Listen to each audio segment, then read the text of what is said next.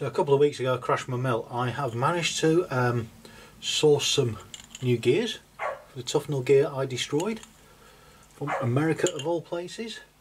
So we'll get the motor and everything off, we'll get it stripped, get it replaced. I've unplugged it, make a start. So first thing off is get the ejector nut off and then we'll disconnect the motor.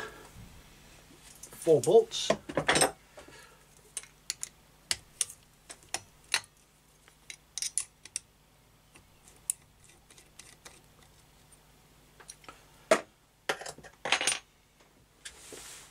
Right, be careful when you take the motor off because there is the oil screw which is just a bit of nylon plastic there.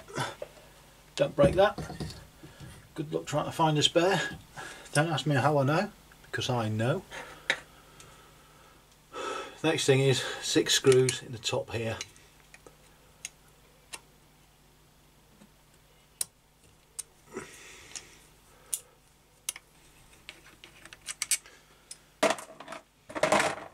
Before you pull the cover off as well, just make sure there's no bits of Tufnol gear lying around the top that could fall in the gearbox. I did clean a load of it out and I've recovered all the teeth I did when I did it. So lift that off nice and gently. There we go.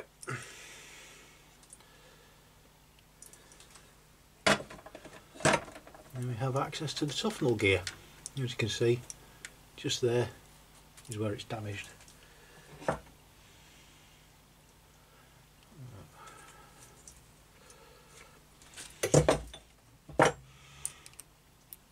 Head fitting there.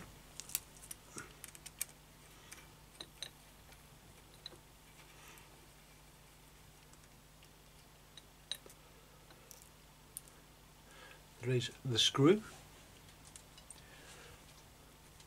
Comes with a little serrated washer you don't want to lose. The bigger washer. And that should just pop off like that. That's a Tufnol gear off. So I need to press these roll pins out. You notice that this piece here, this side, is bigger than that side, so it needs to come off this way. So we'll get them roll pins knocked out. Lose them. Where's the punch gone? Did I put the punch in my pocket? Yes, I did. Little toffee hammer.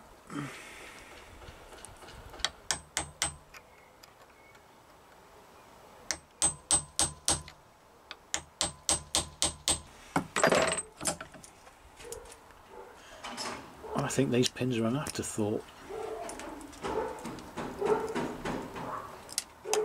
I don't know if the Tufnol gear's been spinning off.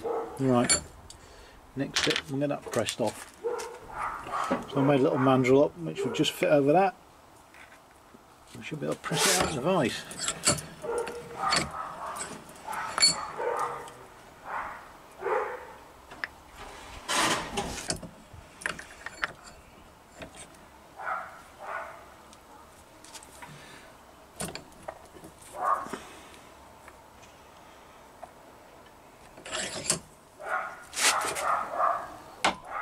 Go.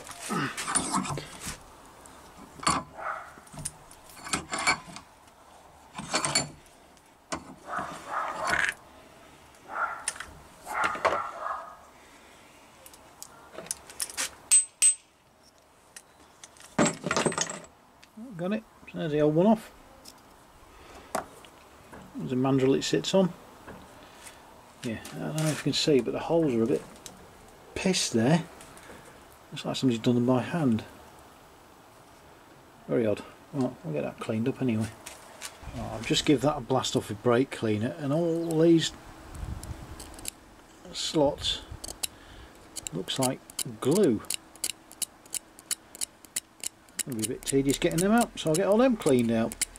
A few minutes later. That's a good clean up. Now there is a recess in there, the new gear, it needs to be pressed on.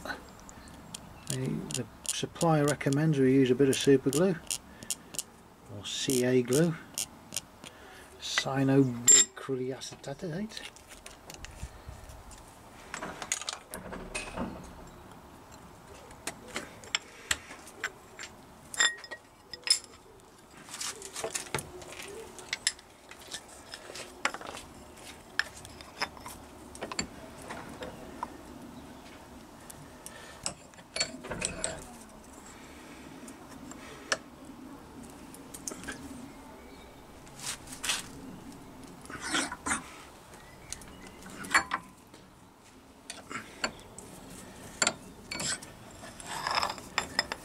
How's that got it?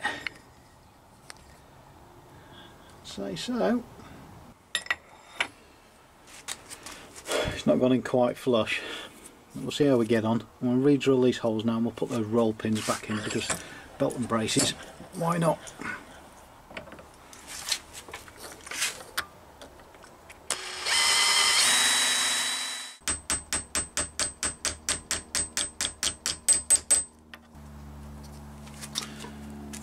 So there we go, all pressed on. Let's get it fitted back in the machine, see what happens. So, I'll get the key, keyway aligned. He says, with ease, not, have it in gear.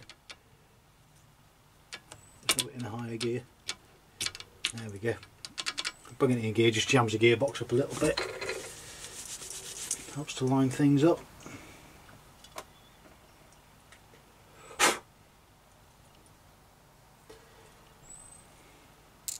Washer, lock washer and the screw.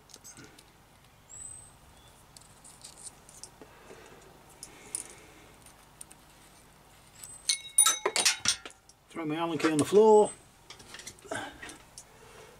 It, it didn't go too far.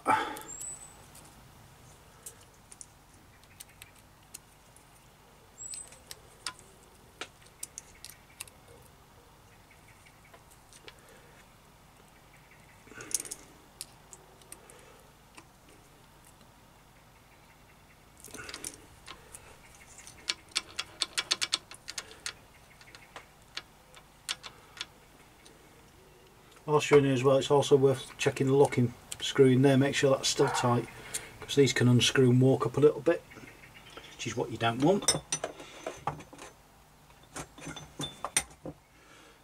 Cover plate back on.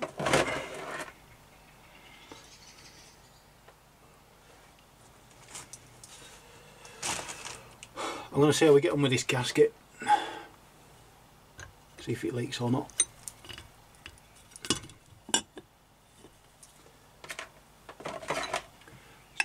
back in.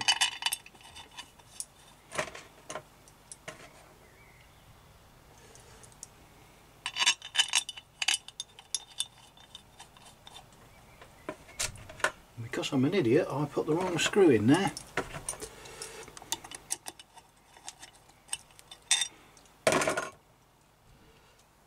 two different lengths of screws. Not showing that very well am I? You know the shorter ones go in the back where the motor engages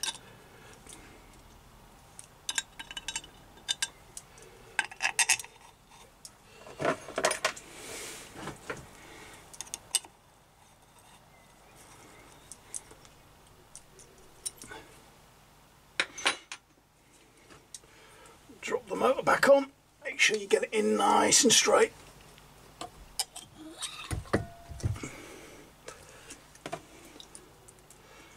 four screws back in there.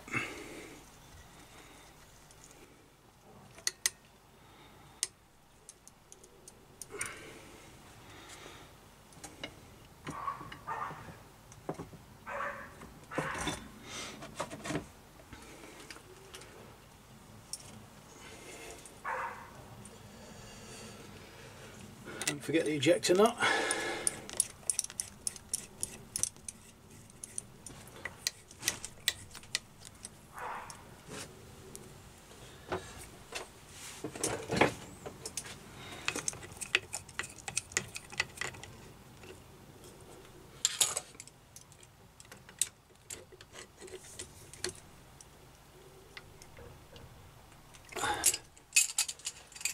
So first start up, and everything's nipped down. Got it at its lowest setting.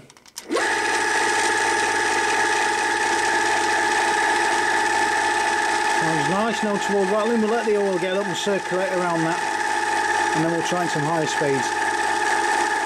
Let's try high 3, fastest speed going, 2000 RPM.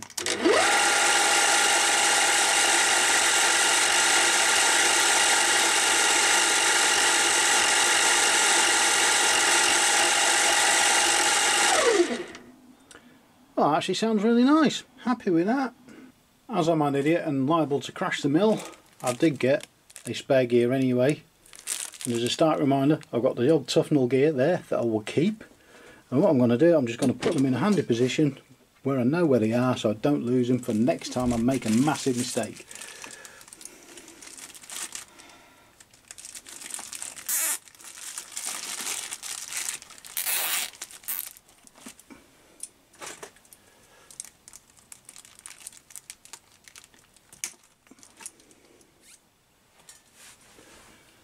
Hope this has been useful. Thanks for watching.